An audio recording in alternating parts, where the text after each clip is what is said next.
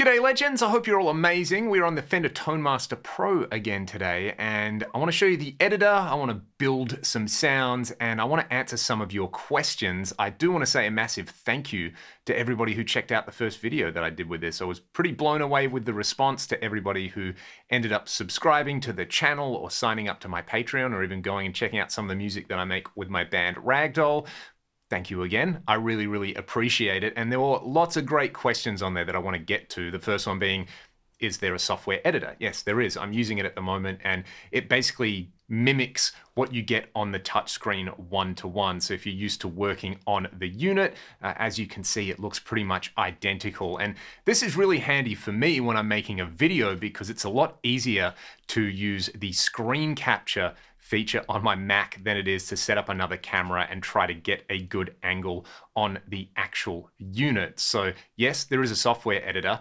Uh, a few other things, I don't have the Fender FR cabs. I really would like to try them. I actually didn't even know about them until the entire kind of product launch. So that's something I would like to check out. I really like the way they look, and I've heard some clips where I like the way they sound. Uh, a lot of people wanted to know what that little melody was that I keep playing in my video. The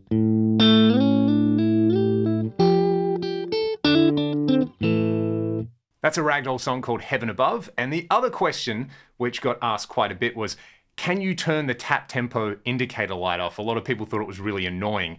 You can, and the way you do that is you come up here into the settings tab and you can see that you've got a bunch of options here for preferences, I.O., foot switches, EQ, and the mixer. So if you go to the foot switch tab on there, you've actually got an option on there for the tap LED. You can have it on so that it's only activated when you press on it, or you can just turn it off. So I'm going to turn it off because a lot of people seemed turned off by that thing being on. The other thing that came up, a lot of people wanted to hear it with a Strat or a single coil guitar and some cleaner sounds on there. I spend like 99% of my life in the insane distortion category of guitar playing. So figured it might be nice to pick up the Strat and try some clean amps. Uh, with clean sounds, what I generally find is choosing the right cab or cab IR is really important. So I've got the Deluxe Reverb dialed up at the moment, and I was pretty stoked to see that there is a factory EV IR in here. So this 1x12 Mega EV, I really like it with the SM7B mic, what, about half an inch from the cap edge, bit of low cut and high cut in here on axis. And I guess you just heard the clean sound, so let's hear it again on the neck pickup.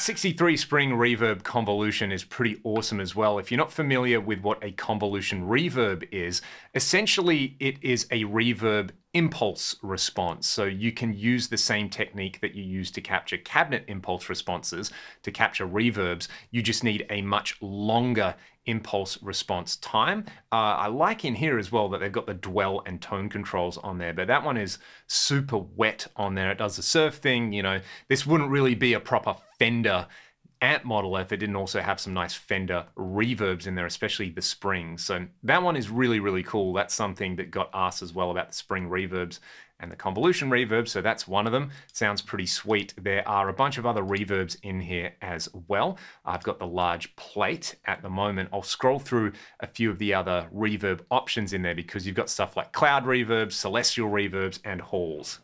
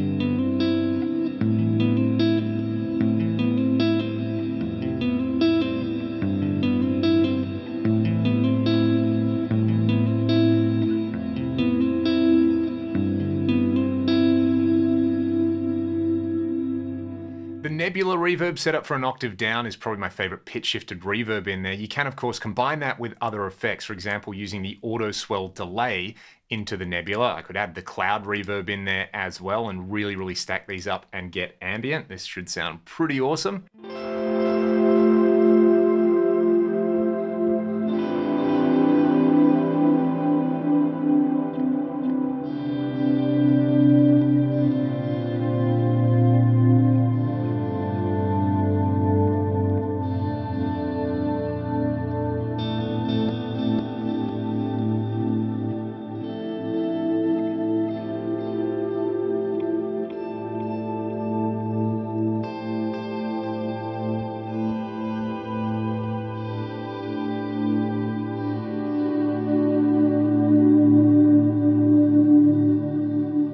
Lots of space for some creative effects in there. You can also route things in parallel if you want to. We'll talk about that in just a second, but first I want to talk about some more delays. The stereo space delay kind of does the Roland space echo thing, and you've got multiple pages of parameters in here. You can even set like the record level and the bass and treble level in there. You can add some tape noise or not have tape noise if you want. There's wow and flutter for modulation as well. Uh, stock settings on this, like a lot of stuff, sounds pretty decent.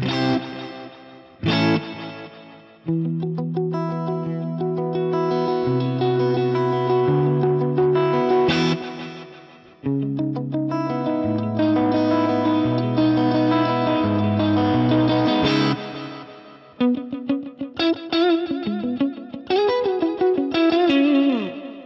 look at the stereo memory man delay in my first video with this. One thing that I didn't notice at the time that I have noticed subsequently is when you engage this, they've actually mimicked the dry behavior of the pedal, so it kind of messes with your dry signal.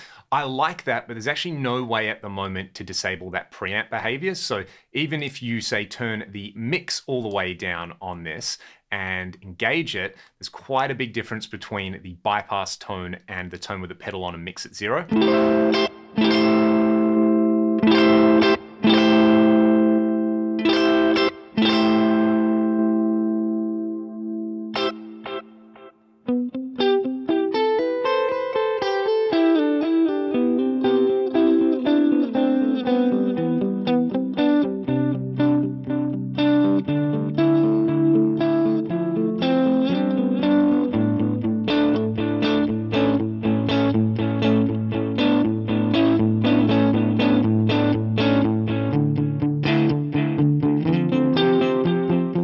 One suggestion for an improvement in this particular block, having the ability to bypass the preamp. While I really appreciate the authentic behavior, one nice thing about digital platforms is that you can go beyond what the originals did. So if you just like the tone of the delay, but you don't want it to mess with the overall mix, you can do that. I mentioned parallel effects routing before, so I'm going to replace this with the studio delay over here. So let's add that. And then if I come over to the instrument section over here, you can see I've got all the different routing options on here. So I can have one parallel chain, multiple parallel chains. I can have the mic input and the main instrument input processed totally separately in there. Let's just go for parallel number one in here. And you can see I can drag these blocks now onto parallel chains. Furthermore, you've got a kind of input mixer and splitter and an output mixer for this parallel chain. So what I can do is I can choose where you know, basically the signal gets routed. I'm just going to leave this one at stock because I want both blocks to get the same signal. But over here, what I can do is I can play around with the levels and the panning between them. So for example, if I had two different delays and I wanted one delay on the left, one on the right, I could do that. I might actually just do this. I'll pan them very slightly left and right, but I'll leave the levels the same. And then you'll be able to hear reverb slightly to one side and delay slightly to the other side. Let's try that. One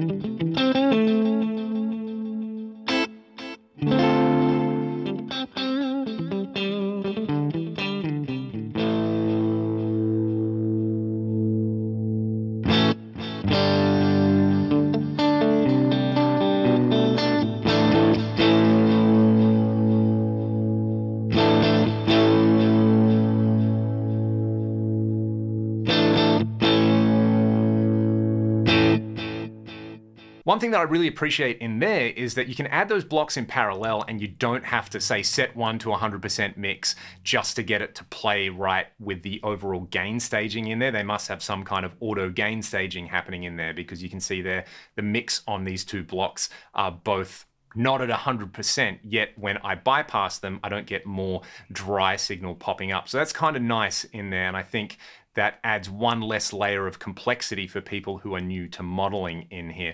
You could of course do the same thing with say the pitch block, just add two voices in there and create a stereo detune. I should probably do that. Okay, I have a pair of chromatic pitch shifters placed in parallel to one another. One other thing, if you want to do kind of fine adjustments on here, is you can just click on the knob and then use this kind of slider on here. So let's get the pitch here to around minus nine cents. You know what? Minus 11 is totally fine to start with. And this one, I will go positive. So we'll go somewhere around 9 to 11 cents over it. I don't think you can enter numerical values at the moment. That's one other thing I would like to see implemented. Let's just go with 12 cents there. So just a very, very small amount of pitch shifting on each side. Then with the output mixer, I'll just pan them each hard left and hard right. And I've created a dual detune. Let's check it out.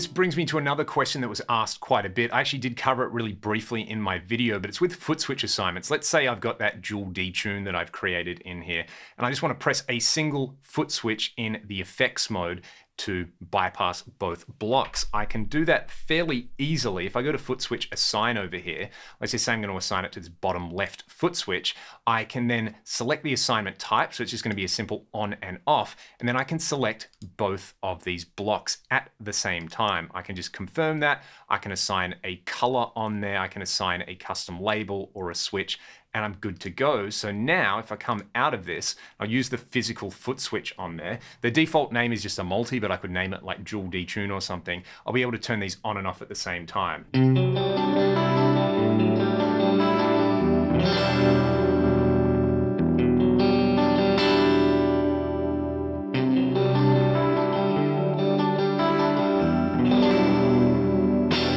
Another thing that I can do with the foot switches, which again I did mention in my first video, but I got a specific question about effect parameter ramping. So can you set up a foot switch that takes a particular parameter in a block from one value to another? You can, you can do that fairly easily. I've got the Bluesmaker drive in here. Let's just have a listen to what it does to the clean sound I've got set up.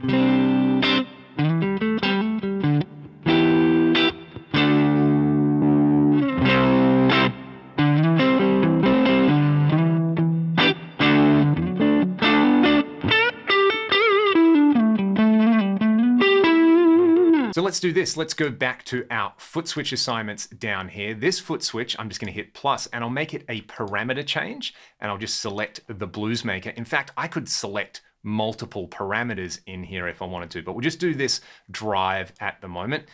I can select the gain, the tone, the volume, or the version. Let's make it the gain on there. And the activated value I'll make to have more gain. Let's have it up quite high. And the deactivated value, I'll just set kind of low, around 24%. So I can again assign a name to that and a color, but I'm not gonna do that. I'll just show you this. If I hit the foot switch, you'll see the gain control change. And the editor changes pretty much in real time, which is awesome. So check that out.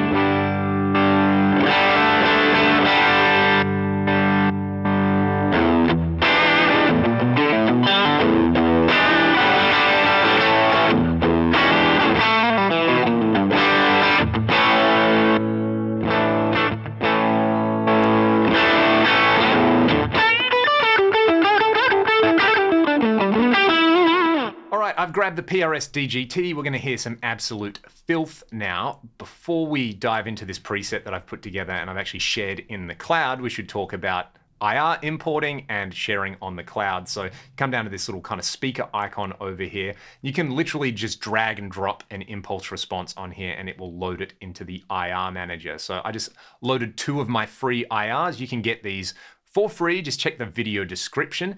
If you come up here to this little cloud, you can see uh, you've got featured presets. There's kind of nothing in here. There's artist presets popular. So I imagine this is going to get populated over the next weeks and months. I did see something over on the gear page where a Fender rep said that they will not be charging for artist presets. So if you're excited about seeing Fender's pretty big range of artists do some presets for this thing. It's nice to know they won't be like a paid add-on. So you can see you've got your download section, genres, all that kind of stuff. Uh, I've shared a few presets over here myself, so you can grab some of these if you're using a ToneMaster Pro. Audition them, download them. Uh, you know, if you've uploaded presets and you want to unshare them, you can just delete them. But I will show you these presets over here. So IR loading, pretty straightforward. Preset sharing with the cloud, pretty straightforward. I also saw that at the moment, if you want to do backups, it's only via the cloud. Again, a Fender rep did say that they want to add SD card functionality to that, which is nice because having a physical backup is always awesome. Mr. Whippy's going by at the moment, so uh, let's just take a second.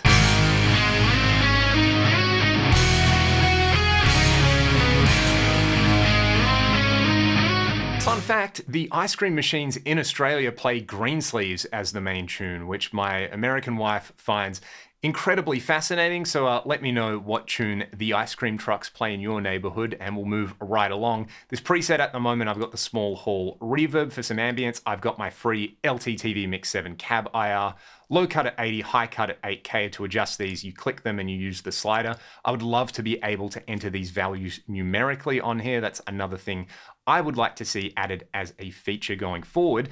I've got the Mark II C Plus model in here dialed up at the moment, and I had a look at this really quickly in my first video, and I mentioned that it sounded like it was modeled with the fat switch on. I missed that there is another page where you've got all the switches, and I was actually correct. The treble shift or fat switch is engaged by default. Uh, I've turned it off here. Bass shift is off.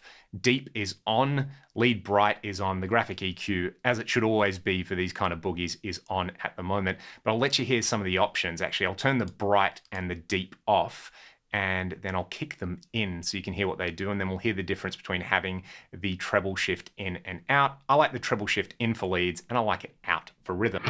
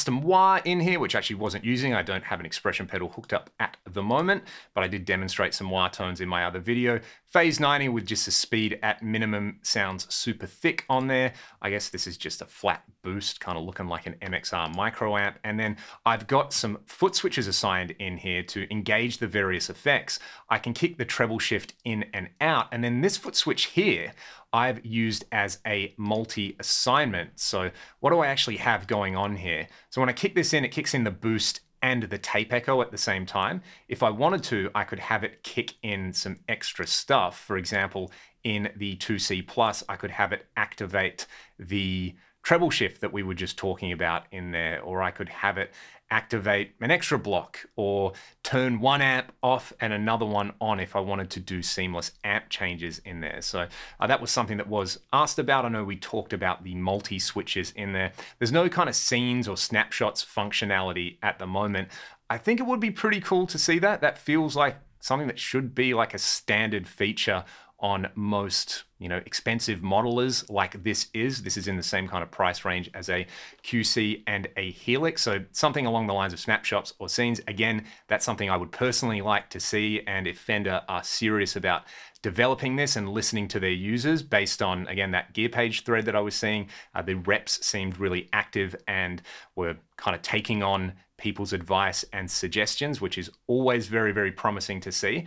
Anyway, that's the Mark II C Plus. I have shared that preset. If you want to try it out, you can grab my free IR as well. I've got some other presets in here. One was a Plexi, so this is the British model, which I like a lot more than the 800 model in there, but I paired it up with two cab IRs. I'm using the EV, so this is another thing you can do with parallel routing. I've got the same cab, but one has a 121 mic, the other has an SM57, and then I've panned them slightly left and right in there. So let's have a listen to what this smooth plexi sounds like.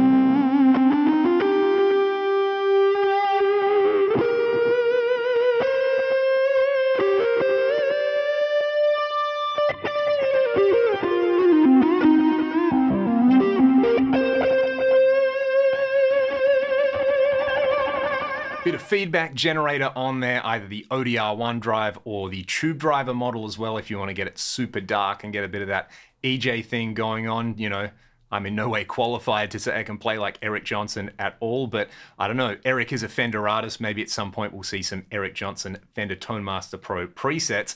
Okay, this is a super fun tone that I like to try dial in on just about any modeler because you can kind of get a Rockman style tone just by stacking some EQs and compressors. So I've got the parametric EQ and one thing about this is it's kind of barely a parametric EQ. You can change the mid Q and frequency, but you can't do that with the treble and the gain. So I'm guessing these are shelving filters uh, at set frequencies in there if you're going to call something a parametric EQ, in my opinion, you should be able to adjust those things or have them as peaking filters as well. Also, I'm not super sold on having this skeuomorphic pedal style thing for a parametric EQ. I would love to see some of this space on the unit be devoted to actually seeing a graph of what's happening. Nevertheless, an EQ into the Studio Comp. Uh, another thing that the Studio Comp doesn't seem to have at the moment is makeup gain. So I'm using this EQ over here for some makeup gain. I've got the Dimension Chorus on mode three, which is my favorite mode on the real pedal, and a bit of the small hall, and then I can kick in some ping pong delays. So this sounds super bright and does the 80s thing pretty well.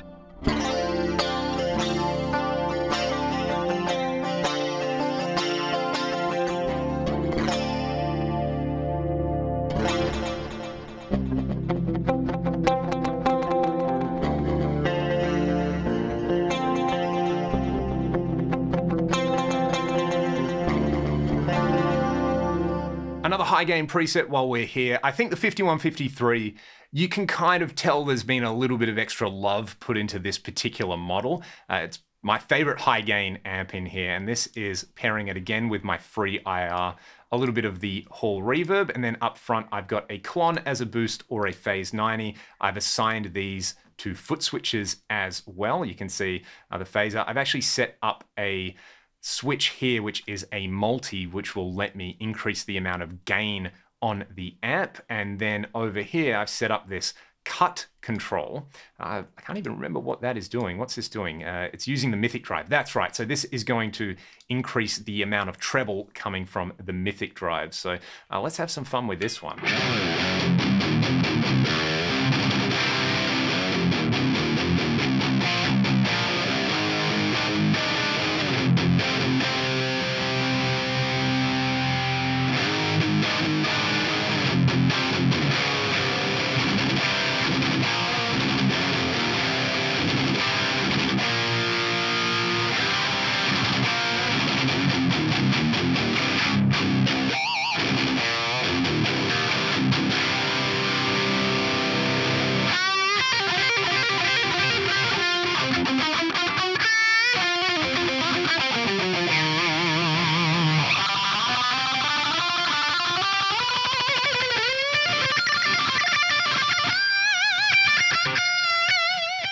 Got this lead foot switch down here, which kicks in uh, a bunch of stuff. I think it kicks in the Echo and the Klon style drive in there for me. So again, rather than have a lead scene, you just assign it all to one foot switch.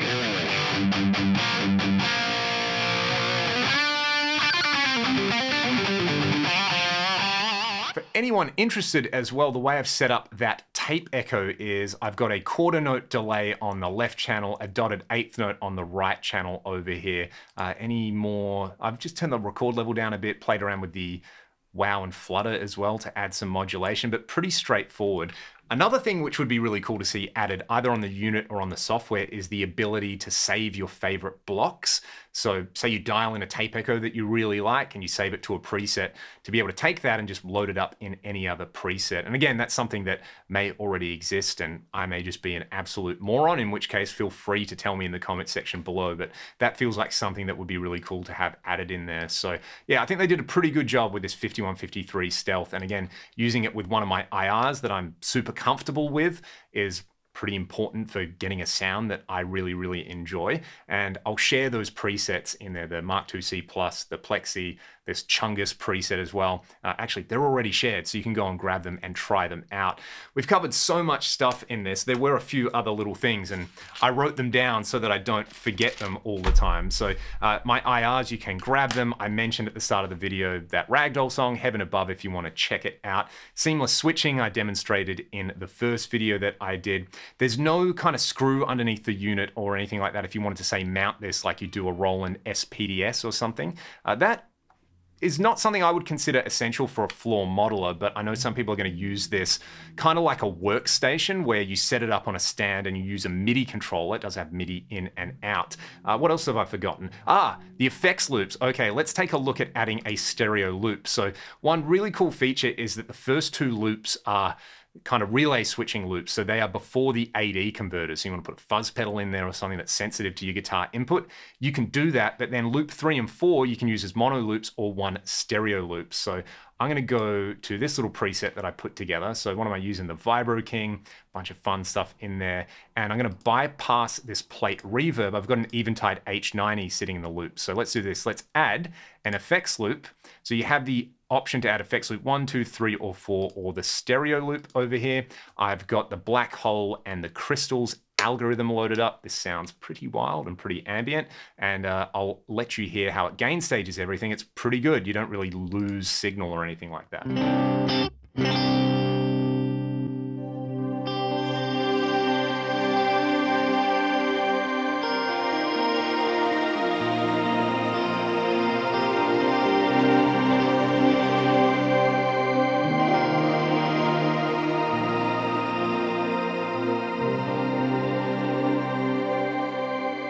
Covers the effects loops. I was also asked about the feel. This is something that's so hard to talk about on here. I feel like it's one of those things that if you don't notice it, that's a good thing. I wouldn't say this feels better or worse than many other things that I've tried. The input and output latency seems pretty good and kind of pretty standard. You know, most of these devices are going to be using similarly spec'd AD converters. And of course, it's not just about the AD converter. You've got to use uh, analog circuitry around that and get it right. But, you know, it's low noise. the amps sound like amps. The effects sound like effects. I think that's about as much as I want to say with that. I think whether you're using a real guitar cabinet, an FRFR, or you're playing on in-ears is going to have way more of an impact on the overall feel than, you know, some specs with the AD converters. But that's just my opinion there. Bass amps, uh, good question. I mean, there's a bassman, right? Like, what else do you need in your life over here? But uh, in terms of like the half stack selection, these are all guitar amps. There's combo amps, which are basically still all guitar amps as well. You do have right at the end, I think if you go into amp heads, you've got a studio preamp and a tube preamp, which you could use for DI bass tones in there, but there's no SVT. Uh, there's kind of no standard selections for bass players. So again, bass players kind of get the short straw when it comes in here. I'll be very keen to see if there's an update soon that adds some dedicated bass amps, because I feel like bass players would really, really like this. A lot of the time, you don't need complicated stuff for bass tones. You need like a kind of solid amp and cab tone. There's parallel routing, so you could do the clean dirty thing. There's some compressors in there and some tube preamps and uh, a lot of fun effects as well. So yeah, that seems like something which I'm going to guess they're going to add it, but again, it's up to Fender to prove to people that they are going to be serious about supporting this. What else can I tell you all about this? Someone wanted to know about the fuzz tones in here. So let's say replace this Fender Pugilist distortion with something fuzzy in here. What do we have for fuzzes? So we've got uh, the big green fuzz, the big horn fuzz, the germanium and silicon round fuzz, and a Vera fuzz. There's an octave fuzz as well. We've got to hear this. So the good old trick with an octave fuzz is roll your tone control down, play on the neck pickup, and does it do the weird synth thing.